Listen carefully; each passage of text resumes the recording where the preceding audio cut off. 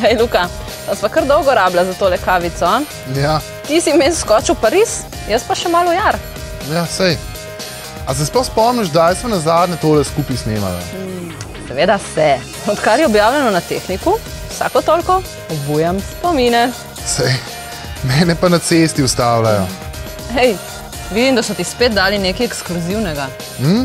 Pa se ve, da imamo te ekskluzivne mobitele vedno ta prvi pri nas. Itak. Tokrat med prvimi državami na svetu. Ja, to je tako kot pri nogometu. Velik si, koliko imaš veliko srce. Sej to. Te zanima? Ti pokažem.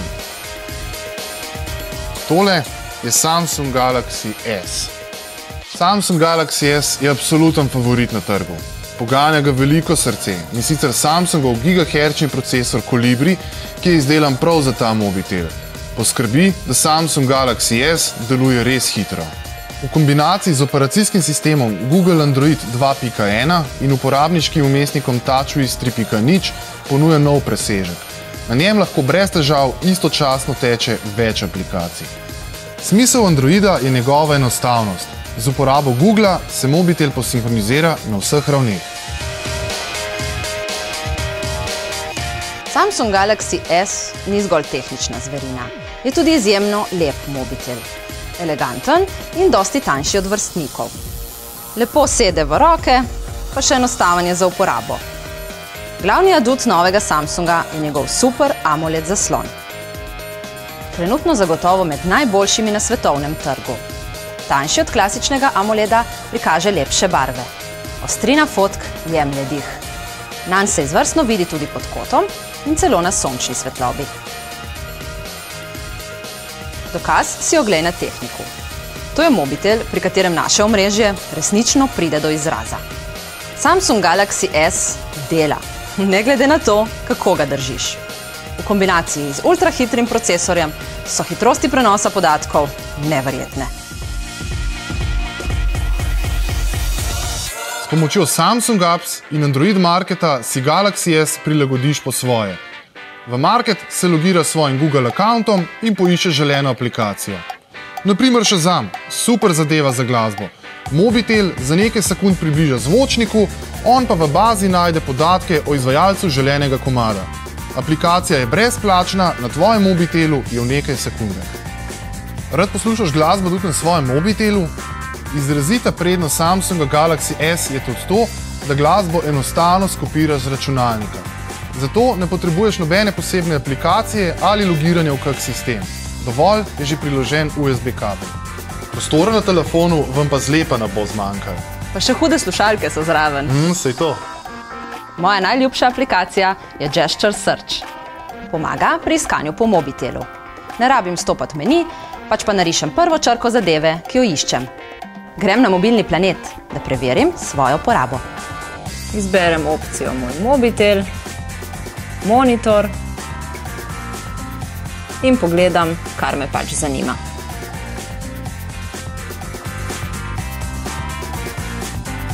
Samsung je v Galaxy S ugradil zelo zmogljivo baterijo. Na račun zaslona pa baterija ne trpi toliko, kot so bili navadni pri predhodnikih. Kar pa niti ni tak problem, saj ima telefon ugrajen standardni mikro USB vhod, kakršen ga ima večina novih mobitelov. Vsake toliko časa se pa vseeno lahko zgodi, da baterije zmanjka, polnilca pa nikjer. Ampak ni panike. Rešitev je storitev SMS zgrešeni klic. Za vklop storitve pošlji SMS z besedo klic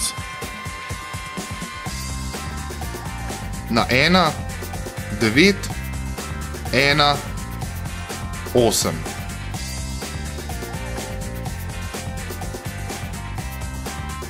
Ko pa spet prižgeš mobitel, dobiš SMS s številkami, ki so te v mestnem času klicale.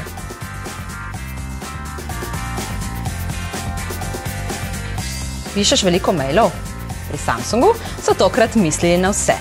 Odzivna tipkovnica ti poleg slovarja XT9, ki predvideva besede, ponuja tudi integrirano aplikacijo Swipe. Swipe pomaga pri pisanju besedil. Namesto tipkanja drsiš po zaslonu oziroma swipaš. Pameten mobitel sam pogrunta, kaj si hotel napisati.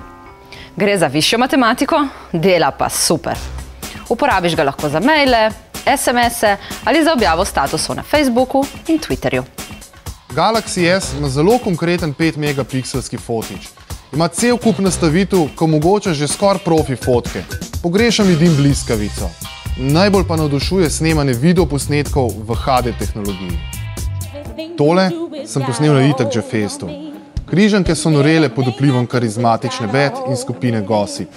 Komaj pa čakam na zadnji del trilogije, ki bo v jeseni. Goldfrap, Kinu Šiška. Se vidimo? Modni dodatek in tehnična zverina. Galaxy S te preprosto navduši tako s stilom kot širokim naborom funkcij. S pametnim mobitelom življenje postane enostavnejše. Samsung je poskrbel, da si ga boš lahko nastavil popolnoma po svoji meri.